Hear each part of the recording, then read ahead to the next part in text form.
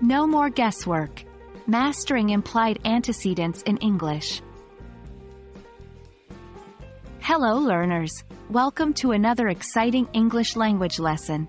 Today, we are going to delve into the world of pronouns and antecedents, specifically focusing on a common issue that can make our writing unclear, implied antecedents. Our goal is to help you identify and correct these errors to make your English communication even more precise and understandable.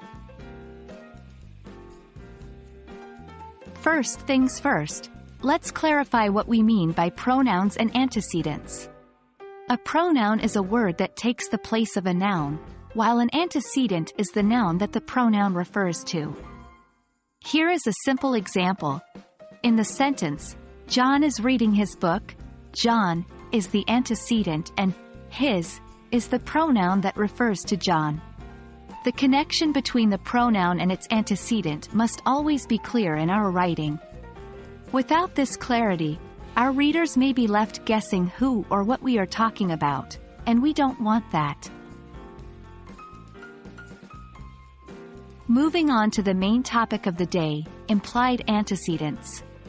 This term refers to situations where the pronoun's reference isn't directly stated, but instead, it's implied or suggested by other elements in the context. Let's look at an example. Consider the sentence, while driving, it started to rain.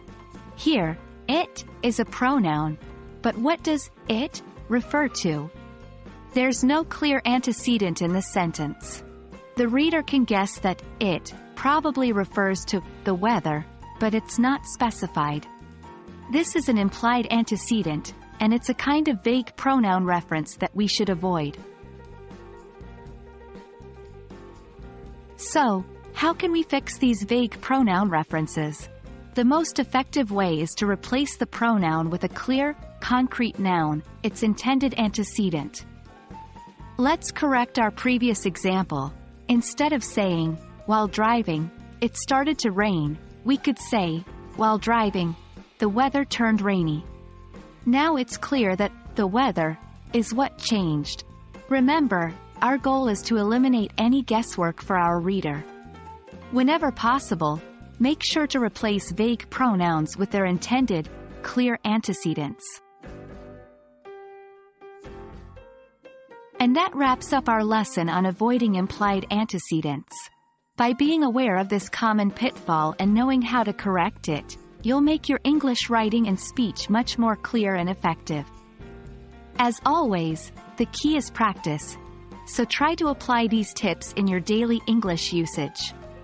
We hope this video has been enlightening. Stay tuned for more lessons that will help you master the English language. Happy learning!